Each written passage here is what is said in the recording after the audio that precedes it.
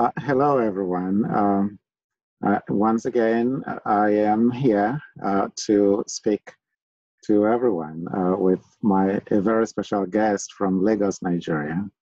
Uh, my name is Ohiro Oni-Eseleh, and uh, I really like to engage people in discussions about our world, things that are going on, and it's also a way really to for us to explore life and culture and everything that happens as best as we can uh, with a view to finding ways that we can all contribute uh, to making our world a better place and today i have no other more special no more special guest uh, than a man that i have known for decades and for whom I have the utmost respect.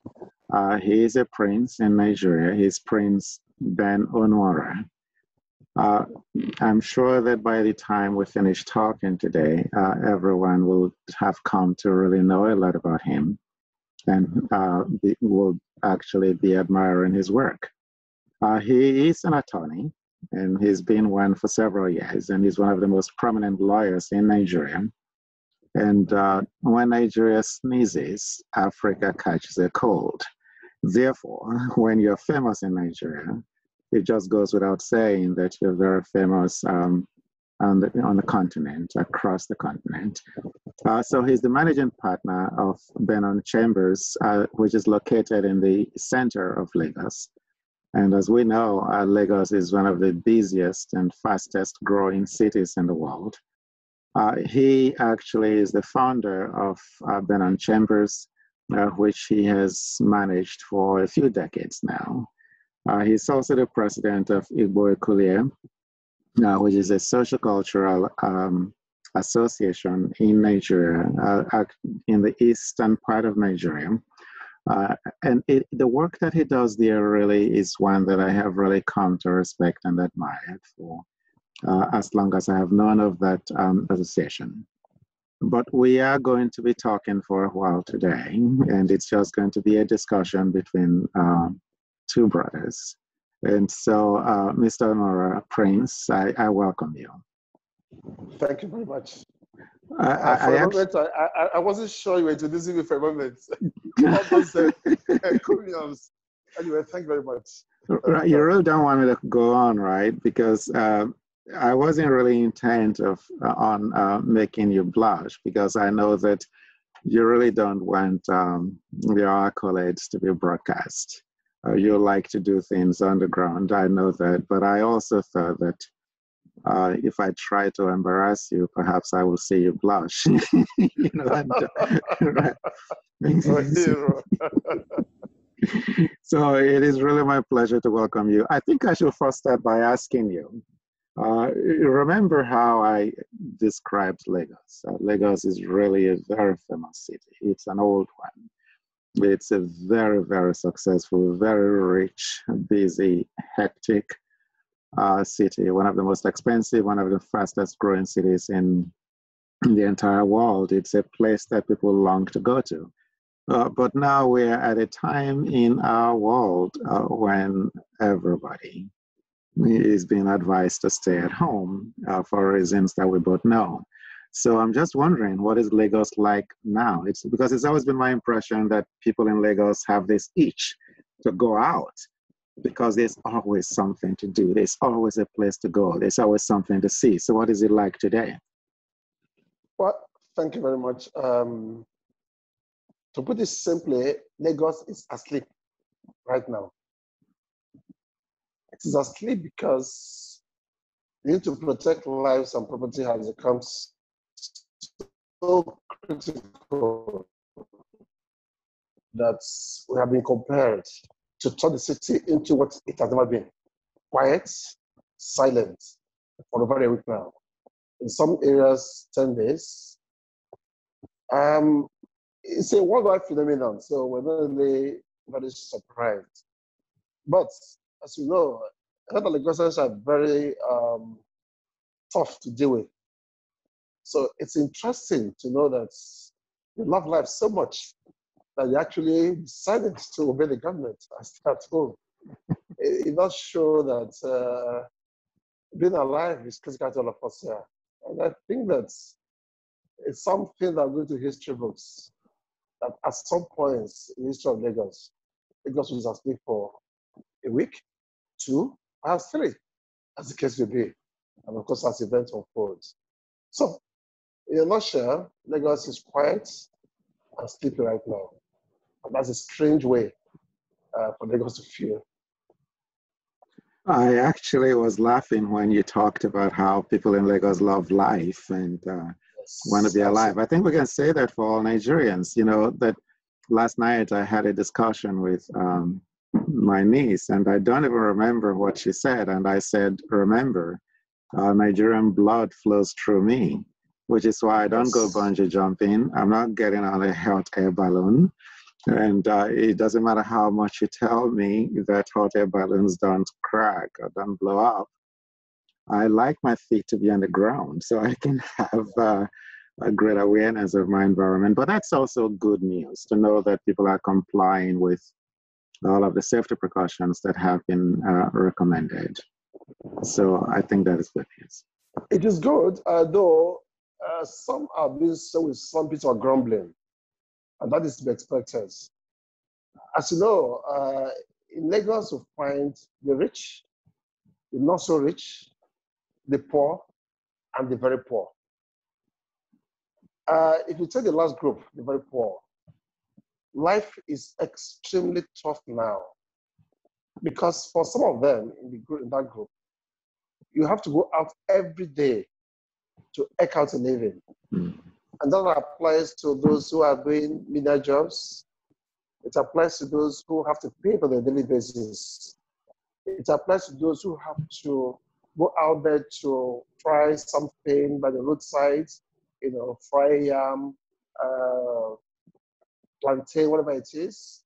It is from the process of the business of the day that you're able to purchase some necessities, including food, to give to your family. So when you are compared to sit at home. It's almost like saying, without money, death could be, death through hunger will come faster than death through COVID 19. So for such people, it is extremely, extremely difficult. So it becomes a question of do I obey government and that hunger my children, or do I go out there? But if you go out there and the streets are empty, who are you going to fry those things for? Why the customers? The customers are also at home, you know, in obedience to the directives of government. So it is tough. I know there are attempts by government to ameliorate the impact of this reality. But there, is, there isn't so much that government can do because how many can you truly reach in this Lagos, a city of 20 million people? First, government has limited resources. And two, where some of these people live, you can't even reach them. Some of them live practically on water. You remember those days in the land, all those people have houses on water. I have all that around Lagos. Some used to stay in bus stops, you know, train stations. With this situation, we don't even know where they are today. So while some can be reached, it will be difficult to reach others. But truly, for those people, I feel for them. But I know a few private individuals. And a friend of mine showed me something this morning that he made personally. And he gave to security men and uh, people living in his neighborhood. We all have to do this from time to time to assist those who are less privileged. I can tell you it is tough. Uh, and to worsen this is the fact that even those who can afford it to, to stock their homes, power supply has not been the very best. It has improved slightly during this period, but sometimes the industries and these are closed, so they have more power to distribute. But it's not been all uh, hooray. The administration's power income, for, for, for some people, you can afford to have generators. Those who don't have, if you buy too much and you can't refrigerate those things, then you're in trouble because it now becomes wasteful to expend all that money and you find, particularly they're perishable, and you find the whole thing wasting away. So for some, it's okay. Uh, someone like me, I've had to do a lot of studies. Some of the these are parts believe it I've had for months. I couldn't even find time to read. I need to read them, some research work and all that. But for that, it's exactly so.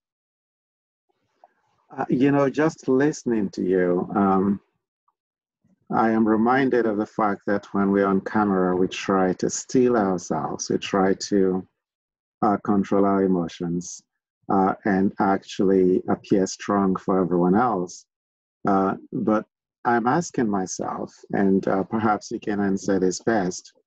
I grew up in Nigeria, uh, as you very well know, and I have looked as I have looked back. Uh, one of the things that I kept thinking is that um, Nigerian governments uh, successively have always seemed uh, intended to ask the citizens to give and give and give uh, without really giving back to the people. So it doesn't seem like the contract is actually a social one, that, that is actually a contract, actually. And uh, as I'm listening to you, it just seems like it's playing out here the government has asked people to stay at home, and the people are keeping their part of the bargain. They're staying at home. Uh, but the government doesn't seem to be providing the basic amenities to enable them to stay home. So individuals like you and those who can seem to be taking care of themselves and taking care of their neighbors at the same time. Uh, will that be an accurate way to describe this? Yes, it is. Um, but I will, I will add this. Lagos, for me, by Nigerian standard, represents an improvement in terms of governance. And that is why, on a daily basis, people from other parts of Nigeria are streaming into Lagos. In the past 20 years or so, we have witnessed uh, the development of Lagos in leaps and bounds beyond what many of us contemplated could happen. But the rest of the country is not doing as well. In many parts of Nigeria, governance is so pedestrian, in fact, irresponsible. But in Lagos, a lot has happened in the past 20 years that gives hope that if we could take that quality to the national level, before long, we'll see the kind of progress we'll see in a place like Rwanda, in a place like Ghana, and in other countries. And it just gives you hope that will not remain like this forever. That with concerted effort by all of us, we can actually get leadership that works for Nigerians. Um, right now, a lot of people will tell you that we're not doing too well in terms of capacity and good governance. Because it's, it's, it's more painful when we realize that it is not rocket science. In this Lagos, years ago, when we had the military, most of the roads were not tarred. And the excuse they gave was that they didn't have bitumen, which is essential material for tying roads.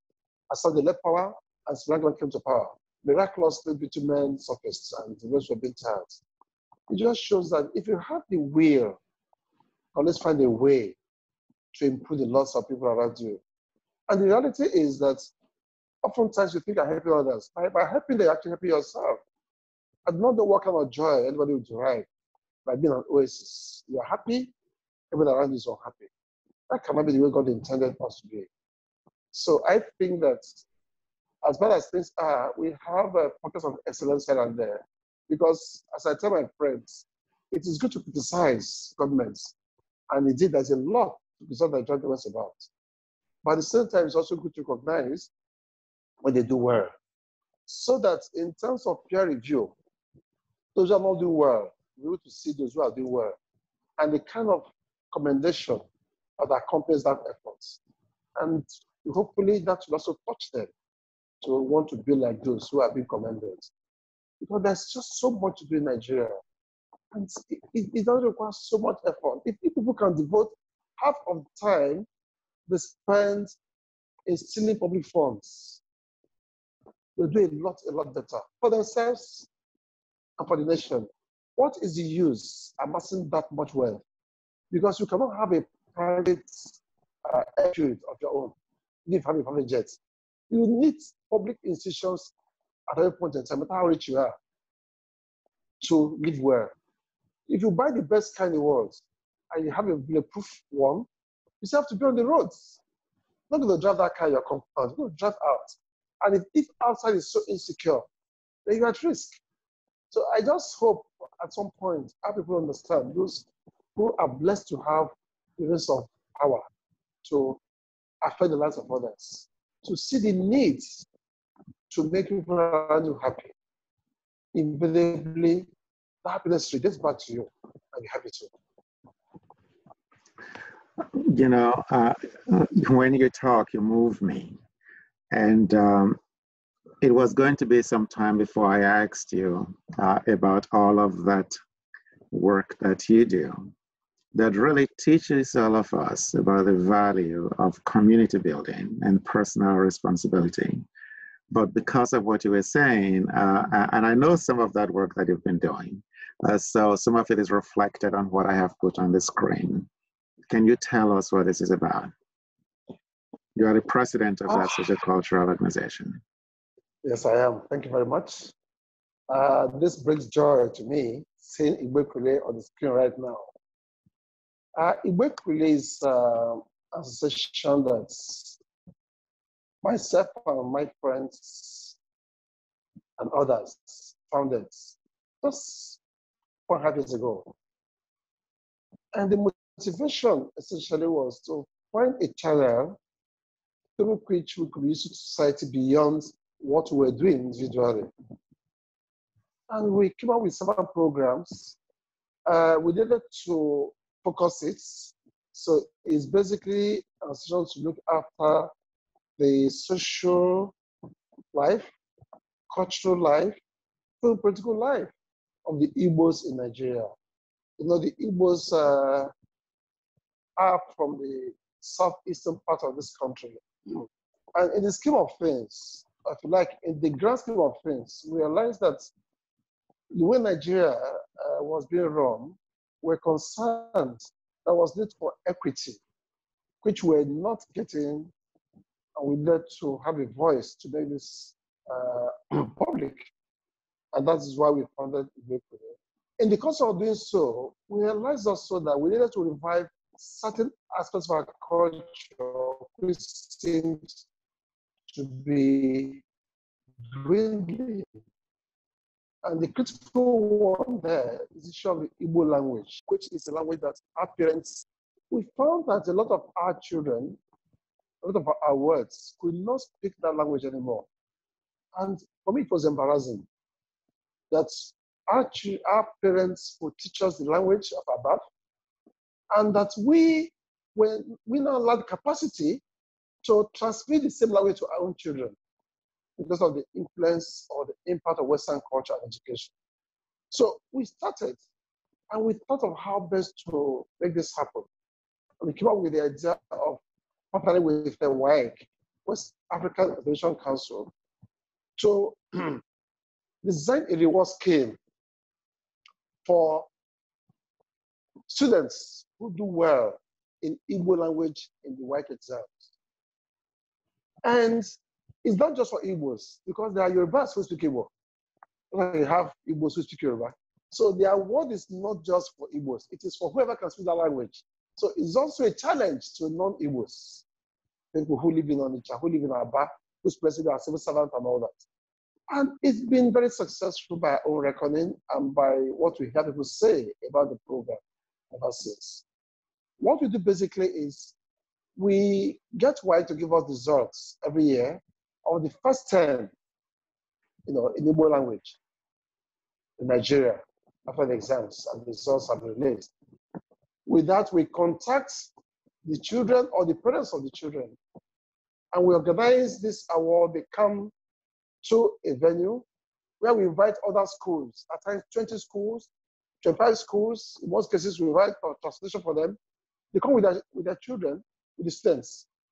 And then we have elaborate ceremony where the students are made to learn and actually showcase a lot of scintillating steps, Igbo songs, proverbs, and all kinds of other cultural activities, including drama. And at these award ceremonies, we give award to the first three in Nigeria, first, second, third in Nigeria in the Igbo language. We also ensure that the states that host us, because we, we rotate this amongst the uh, southeast states and Igbo speaking states in south south like Delta and Rivers. We also ensure that we reward the host states. So we get the best three in Nigeria, then the best from the states that's hosting that particular year. In the past three years, we've had to also collaborate with some governments, those who decide to cooperate with us, and we get them involved. And this has brought a lot of successes. Some states now have made sort of Igbo language compulsory. Some states have now introduced Igbo speaking in particular days of the week in schools. Unlike those days, Igbo was called vernacular. Just like Igbo was called vernacular in some schools. People were not allowed to speak their own language. In fact, in some schools, people paid fine or got punished for speaking their own language. So ridiculous. So this effort is really to change the perception. For us to speak the second as against just speaking uh, English alone. Another thing we do is that every state we go to, we also do our CSR. We try to ensure that we identify a charity home. Maybe we'll come to that later.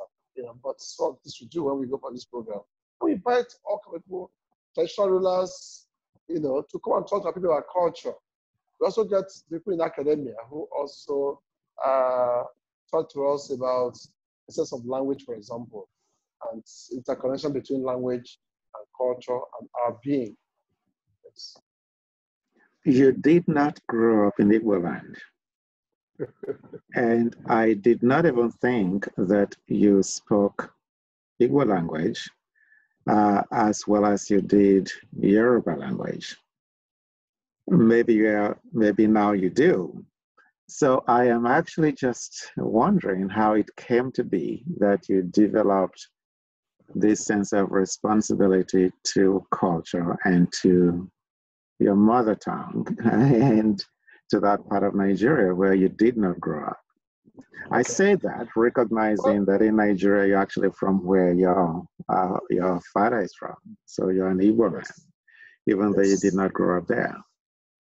Yes, yes, you're correct uh, to an extent. I'm partly in Igbo land, but substantially outside Igbo land. So I speak Igbo language very well. And some of my friends are surprised to hear that I speak Igbo language very well too.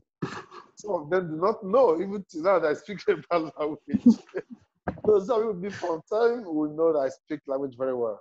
The reality is that um, in Igbo for example, there is not a single person who is an Igbo major, for example, who is a lecturer in Igbo language, or who uh, earns a living by speaking or teaching Igbo language. It's a matter of interests. In Igbo we have professors of medicine, of other subjects. And, uh, we have Reverend Father, we have engineers, we have lawyers, we have pharmacists, and the like. So none of us really would be pinned down to being an Igbo advocate. But we just felt, look, we are Igbos. And there's no better way to contribute to where we come from than to actually propagate the language, the speaking, the teaching, and the learning of this language. Which is why, as I was talking before, we even reward schools, the schools that produce these students, we reward them.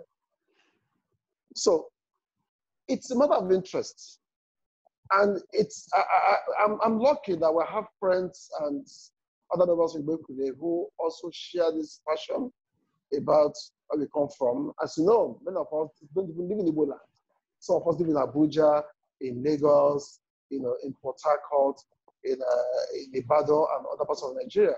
But for this course, we always travel from everywhere we are to the venue. We've done this in Enugu. We have done this in Awka. The last one we did was in Owerri in November last year. And next year, God willing, we are going to Abia State for the same program. So it's a matter of passion, matter of interest, uh, because we think that it's just one of the ways that we can help our society and to ensure that this story does not die. as you probably aware, UNESCO actually predicted that Igbo language will be one of the languages to die in the next few years. And for us, that should not happen. That is uh, why this is so. Right. Can you explain the picture that you're looking at? Okay, yes. Um, this picture, the person on the right is the principal secretary to the Anambra State Governor. Uh, followed is Secretary of Igbo Ekunie. Then the winner for two years ago the ASUU Award, and the rest, myself, the Treasury Association, uh, Dan, and of course we have a traditional ruler and some other person. This is the cash prize, so to speak, for the winner. Usually we give as much as 150,000, 200,000 to the best student in Igbo language in Nigeria. Um, and there are times, as we even announce the award, others seem so impressed they even add to it. Like when we did the first one, then they go, the chair of the occasion, professor and deputy uh, leader of uh, Ohanaeze, actually added 50,000 to the, to the amount. So this is the ceremony where we give out the award is um, you know a picture of the check I was issued you know to uh, the, the, lady who the, the young girl who came first in Nigeria, and of course the second one also got, the third got, and the host states winner. And could you explain this picture as well? This is from a different ceremony. It's a different year from yes, the one okay. that I just showed you, right? Okay, now, as I mentioned earlier, we try to also impact on our communities as we do these awards. What we do as a tradition is that for every time we go for these awards in a town in the East, we identify a charity home in that particular town that we must visit at the end of the presentation of the awards. And we go there not just to talk to them, we go with um, all kinds of gift items and a lot of cash. Before then, we usually do what is called needs assessment. We send a team of our members to go and talk to the leadership of these uh, places. This particular one is the month is the Oprah's home at our layout Enugu. And the person you see with me there is the leader, a reverend sister who heads the place. We went to the place, we gave them wheelchairs for some of our elderly ones who could not walk anymore. Yeah, with pampers, you know, to for those who could not control their system anymore. A lot of food items and drinks, and we're very, very happy. We went round there to see them, give them words of comforts. For them, it's still as if their own children, that natural children came to see them. So we do this every year. Last year, for example, we went to Mother's home at Owerri, where we did a similar thing for the children who needed help.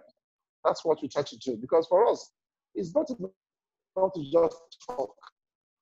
We try to also do things so that the practical impact of what you're doing can be felt by those who need most. Uh, well, as you know, and we've had this conversation, you and I both believe that we are blessed so that we can be a blessing to others. Uh, so, my question to you is that um, just imagine what it will be like and tell us how you see the future if everyone who's been so blessed as we are uh, can do things like this in their own communities in Nigeria, things like what you and your pals are doing, uh, if all of us can just do this across Nigeria, uh, what do you think, or let's say across Africa or the world, what do you see uh, in the future of our world? Well, I have no doubt in my mind whatsoever that the world will certainly be a better place if we can think more about others than ourselves. As you well know, I'm, I'm a Rotary, I'm a Rotarian, and the motto there is service above self. You serve others, even above yourself. The truth is, you, you will not believe how incredibly busy some of the are. For example, there's a member who is was a provost of kind of medicine of a university, a professor, extremely busy, attending conferences around the world. But when he has to work it, he leaves everything. He leaves everything and devotes time and effort to it. We have other members. The secretary of Igbo Ekunie is the president general of his uh, town union. and is doing so much for his community. You know, the truth is, we can only be happier if we make more people around us happy. And what you see is that it is not enlightened self-interest to do what you are doing, because nobody's in land unto himself. So, to answer your question specifically, I think that all of us joining hands together can make this world a better place. And we don't have to be in government to do so, and that's where people get it wrong. You don't have to be a governor to affect the environment. You don't have to be a senator. You don't have to be a president. This will be incremental effort. As you do yours, the other person does his. Before you know, it, to cover a lot of ground. Of course, this is not an excuse for bad governance. Because I also find that people in government, often because people they see that there are people who are willing to help, abdicates in the most responsible manner their basic obligations to the people. So as you do this, you also involve advocacy in the We try to hold governments accountable. We try to make them understand their role society. So once we partner with people in government to know that we are helping, we are, we are not supposed to take your duty completely. Do yours. Then those two gaps that are left, we can fill in gap. But I don't like situation where the NGOs are left completely to cater for Nigerians. Why those who have been entrusted with the power authority to do that abdicate their responsibility and in fact embark on outright creative stealing of our resources. So I believe that we need to do a lot of this. And I can tell you since we started, we've seen some groups spring up in Igbo land, trying to do what you are doing. We don't feel that it's a competition, but that we feel happy that are competing what you are doing. The more the merrier for me, because we can't cover everywhere. So we're happy that other people are coming up in most of Igbo land and try to cover areas we cannot reach. So it can only be a win-win for everybody. As they say, when your mates are urinating, you should also try to partake. So it doesn't appear as if you don't have the instrument for that exercise. So what we are doing on the agenda today, and we're happy that that's that the true effort is uh, affecting others who also see the need to do what ordinarily would not have done. Uh, uh, you know, you and uh, you can see that um, and everyone who is watching uh, will also see that we haven't focused on your professional successes. And um, part of that is because I know that many people in Nigeria, uh, most people in Nigeria only get to see you on television and um, in newspapers and I only get to see you. I see you more often on television than I do in person, um, uh, which is a fact, you know. Uh, but my feeling, and I'm sure you'll agree, is that when all of our successes are stripped away, and when our life is over, what people will remember is how we touched the lives of people and how we impacted our communities which is why this discussion has been very important, and I see the passion as we talk about this work.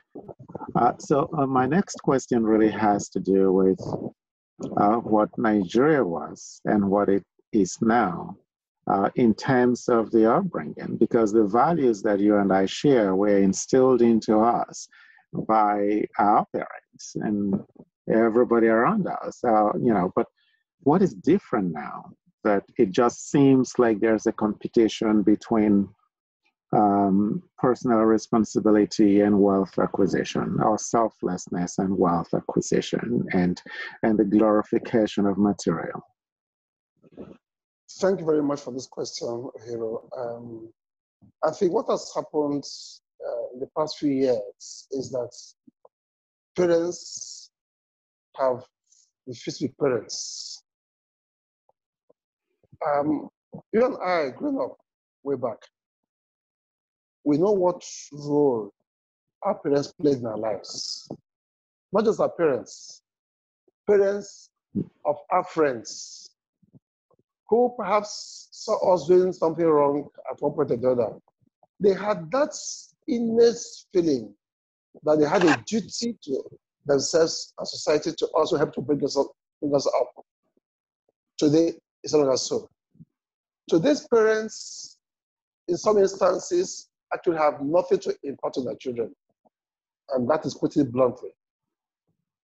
Parents who are in the habit of stealing public funds, for example, from government, what can they tell their children about probity, about accountability? What? Nothing.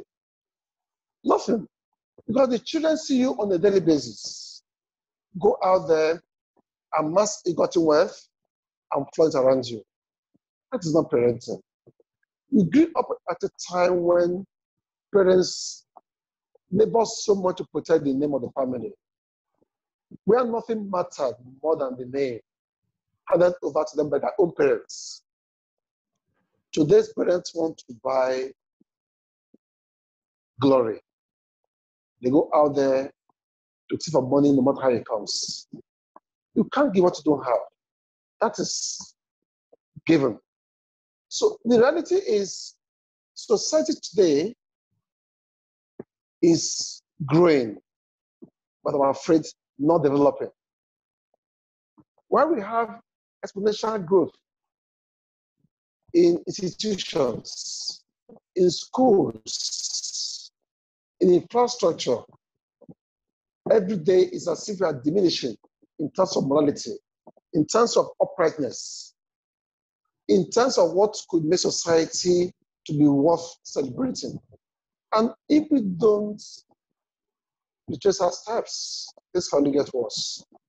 So this is an opportunity for me to talk to parents like me. First, I think we are overindulging our children in many instances, particularly the parents who appear to be uh, fairly comfortable financially. We practically don't let our children do anything for themselves anymore. Even their own weddings, we hijack the weddings of our own children as if we are the ones wedding.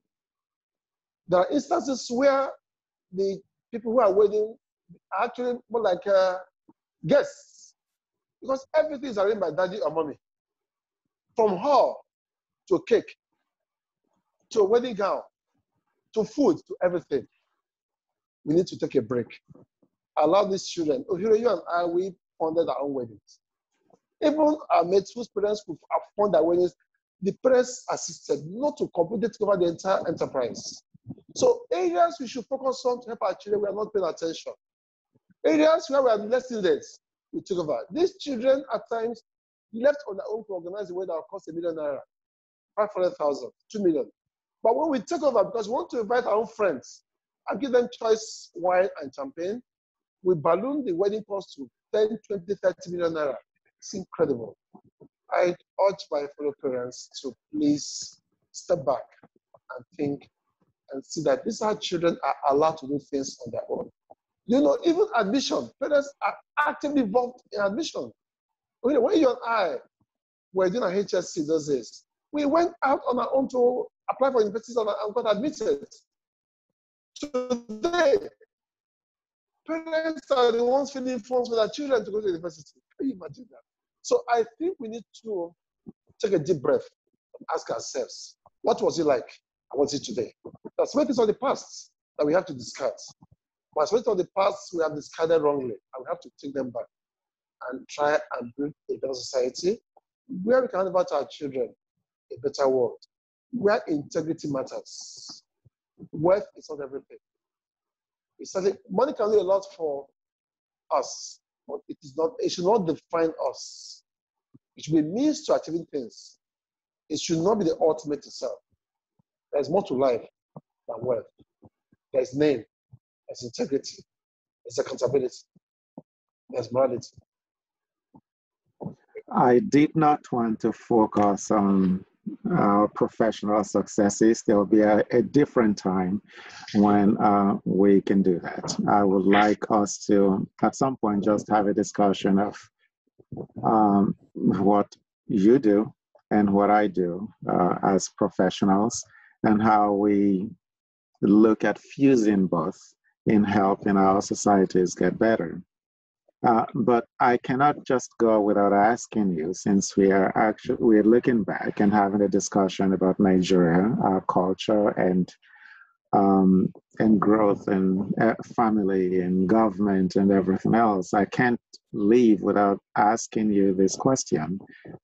Um, what are the joys and challenges that you uh, experience uh, now compared with the past in your practice of law in Nigeria? Okay, um, let me go to the joys and experience. And the first and the most remarkable is the improvement in communication. We started law practice way back. We couldn't get dialing tone on our telephones. You know, the phone used to just wind and wind and all that. We couldn't get that tone. You could spend one hour trying to get the dialing to make one call. Today, it seems so distant, but I expressed it today. Even what you are doing right now is evidence of the kind of phenomenal improvements and we witnessed in our world today in communication. So access to information is another thing. On the internet today, you're able to have answers to practically anything you want to see. That's a lot of practice. If you know where to search for it, you get it. That didn't exist in our time. You had to physically go to the library, Ikeja, or Lagos Island, the Court Library. Of course, we I worked in the chambers that have good library, but at times we didn't have certain books. We had to go to the library. You had to take transport to go to the library to read the book. So that's, I would say, has helped our work a lot. And it has enabled us to achieve a lot more. We spend less time to do a research work now, what before could take you five hours, in one half hours, today you can achieve the same thing. And of course, we are able to type things as instead of writing longhand, getting a typist to type and all kinds of things. And by the manual typewriter for the electric one now came, and of course, computer. So those are the joys I experience. On the other hand, I see that for the modern people coming to the profession, the urge to get rich quickly is actually becoming the objective.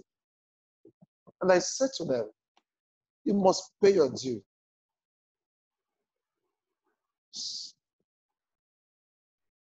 Learn this work by come naturally from your. By the time you start exhibiting the knowledge you acquired through tutelage, people must recognize that effort and pay appropriately for professional services. So I see a lot of people gravitating towards what to give us money quickly. And when you start that way, oftentimes you may not go too far. Because those things that give money quickly may not be the enduring things you need to sustain you eventually. For example, if we have had the concept of people who go to magistrate courts to engage in uh, what, you know, billing people and all that, it's also quite a lot of intellectual work to do that. I see plenty of people going into that field because it offers you quick money. Uh, for those who want to stay long in this job, it may not be the first port of call. It's not a place you should go to on a regular basis. Uh, I also believe that uh, when we started, I must say this, the incidence of corruption was far, far less than it is today. Uh, there's been an attempt to sanitize our profession, and we're happy for that. The many people do not agree with the methods. But whatever we need to do to make this system work more efficiently without corruption will be a thing of joy. So it's one of the areas where I see that we need to focus on to, as a matter of interest, to execute corruption and ensure that whatever we do, we are guided by the need to apply the test of integrity you know, in doing so. But on the whole, I would say that question has done fairly well. Uh, if you rate it against other professions in Nigeria, I would say we have done well in terms of developing new laws, developing new statutes, new regulations to guide uh, day-to-day existence. And of course, another thing I'd like to say as improvement in the time for conducting cases in court. Uh, today, I can tell you that with uh, the concept of alternative dispute resolution, ADR. We have other channels, other litigation. We have arbitration, we have mediation, we have conciliation, and other such methods through which people can get faster justice to commercial disputes as against being in court for a very long time. By the time you get that justice, you need to wonder whether it's worth it. If you put in a claim for 20, 30 million, and it takes 15 years to get judgment, what will be value of 50 million when you get that judgment? Because with inflation and everything, you, you have been worn out. So um, I, I, think the concept of having alternative dispute resolution mechanism has been quite useful in the profession. Well, thank you. I'm going to now ask you two questions in one. Uh, I, if I am considering uh, speaking to people about Nigeria, because very often uh, people say to me uh, that their dream is to visit Nigeria. My American friends are always telling me that their dream is to visit Nigeria. And I am actually considering uh, taking a friend with me on a trip to Nigeria. So I would like you to tell me why I should do that and tell them why they should come to Nigeria. And the second question rolled into that is what is your vision for Nigeria? Uh, where do you see Nigeria in the next uh, 10, 20 years? Where, where are we going? Okay, the first one about uh, visiting Nigeria. Um, let me take on the role of Minister for um, culture and tourism for Nigeria at this point. I would say that this is a beautiful country. Uh, it's a country that you still find a lot of people who are in their natural states. If you go to the villages, for example, what Chinua Achebe described as peaceful apart, he says on bit of it.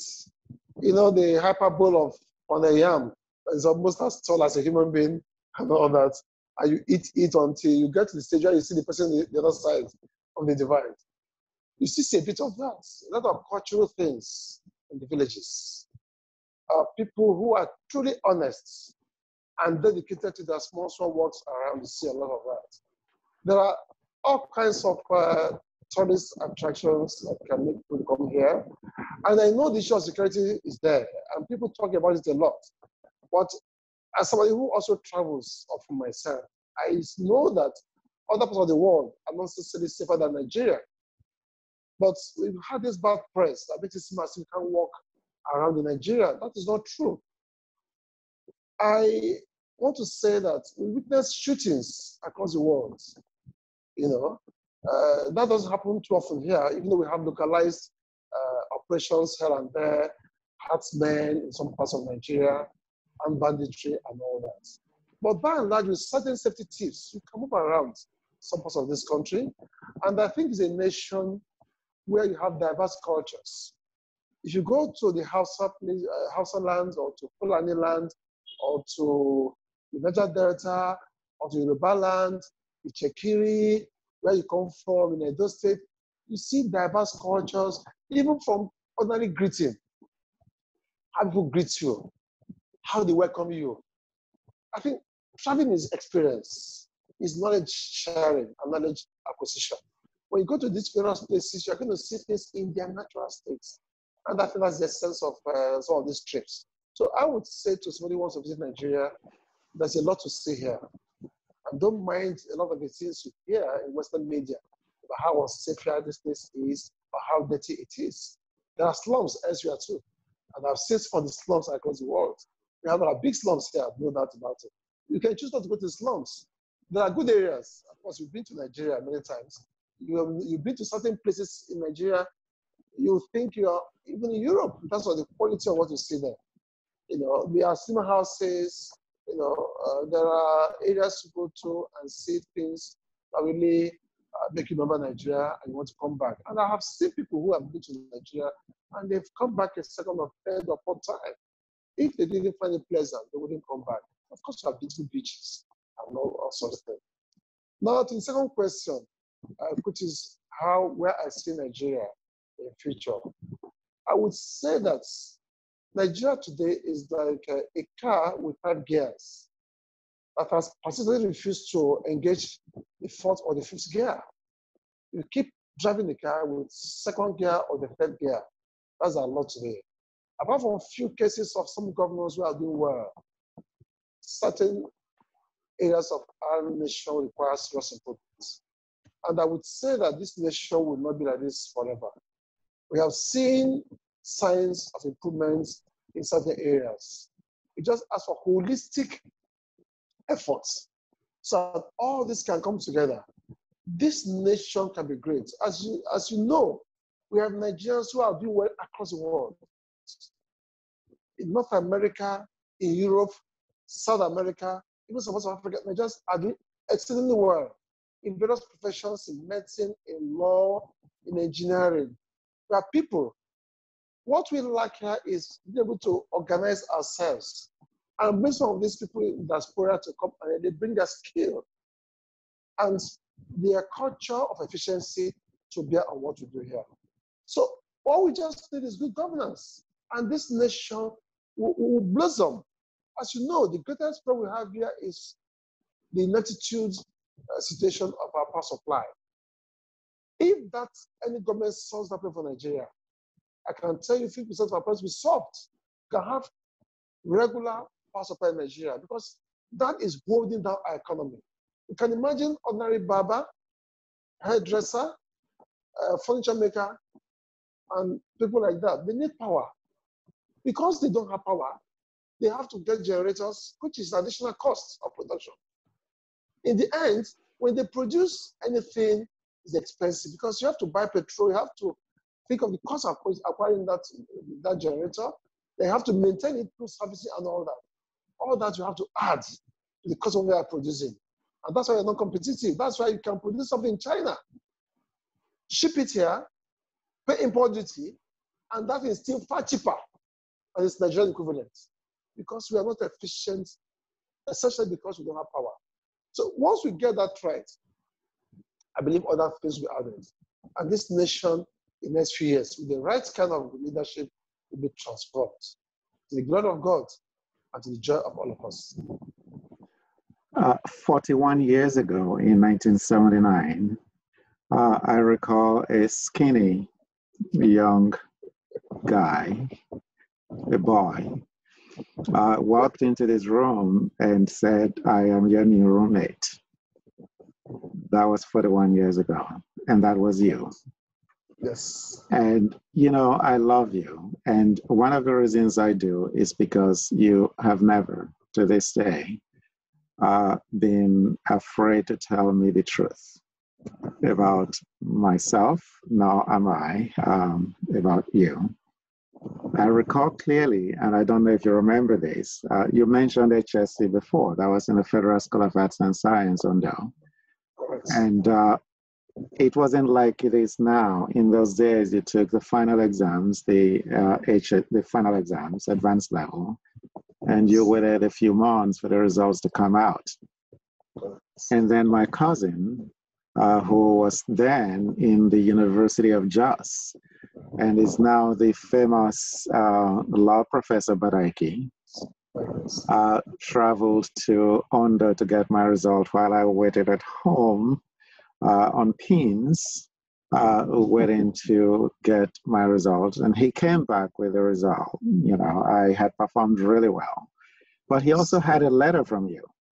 And the letter said, uh, Oh, hero, congratulations. Although great, uh, people like me who know you well believe that this result uh, is lackluster because you could have done better. So I take it up as a challenge to do better because you didn't perform to your expectations, to our expectations. Uh, so and good luck and congratulations. It was a great it was a great letter and the, my result was really fantastic, by the way. But you knew me well enough to know that it could have been better, and you did not shy away from saying that. Uh, a few months after that, I was in the University of Ibadan, and we stayed in contact. And then the following year, you were in the University of Lagos, and I will visit you in Lagos and you will visit me at, at Ibadan. Correct. And um, it has been like that. And um, let's look at this picture and I will wait for you. I will leave it off to you to tell the story. oh my God. oh, yes, this, yes, yes, yes. I went visiting the US. This was 2017, I believe, with my family. and we left Illinois, went to Maryland. I just called Ohiro. I said, oh, hero, I'm in the US really? Please, you have to come and visit us. and I told my wife, now, once I mentioned the hero, of course, he knows my friend. He said, and we left for New York. And Ohiro, thank you so much. You looked after us. You took us around practically everywhere in New York in 24 hours. It was incredible. The children loved it. And of course, the ride, you know, to the Statue of Liberty, you know, it was great. Thank you yeah. so much. right. I, I, think it speaks to uh, part of the discussion that we have had about the fact that we are responsible to one another. And there is nothing really uh, greater than uh, friendship and brother, brotherhood and uh, sisterhood and all of those relationships that we can have. And when I said that I see you more frequently on television than I do in person, it is because you live back home in Nigeria and I live in the United States. So when I'm in Nigeria, I visit you, and when you're here, I mean, and we are constantly um, talking, texting. Thank God for technology, as you said. But I want you to know that I love you, and I look forward to continuing to have these conversations with you. And, uh, you know, God bless you very much. Thank you very much, hero. And let me say this that following that letter I wrote to you, you have since become an intellectual giant of note in the US. a professor today, and you are restless. As you know, you and I, we hardly sleep. So we're always talking at 2 a.m., right. getting at 3 a.m., and all that. You know, we argue about that. We just argued about that before we started oh, because I said, You're the one, you're the reason why I don't sleep. because you influenced me to begin to think that uh, sleep is overrated. Uh, because you don't sleep either. so, I remember, I, I text you. I, yeah, I text you sometimes. yeah, and I said to you, everybody's in Nigeria is asleep. Would you please go to bed? yes, that's true. That's true. That's, as, I, as I tell you at times too. right. Incredible. This has been a long friendship, yes. and it can only get better. Yes. It can only get better. And God bless you. Your children are doing very well. Thank God. That has to do with a lot of work you and Anna have done over the years. God bless you, very good, for all the work you do, both in the US and in Nigeria. I know how many trips you make here at times to try and uh, be useful to our society. God bless you for it. Thank I look you. forward to that day, to that time when both of us are very old. I'll be back in Nigeria fully. Anna, listen to what I'm saying. Anna, back here with Anna. I will visit each other at in our 80s with our walking sticks and all that. I think I'm already old. but, but, thank you very much. God bless you. And we'll, you, we'll keep talking. We'll do this again. All right, then, bye then. Yes. Thank you. Okay, then, yes.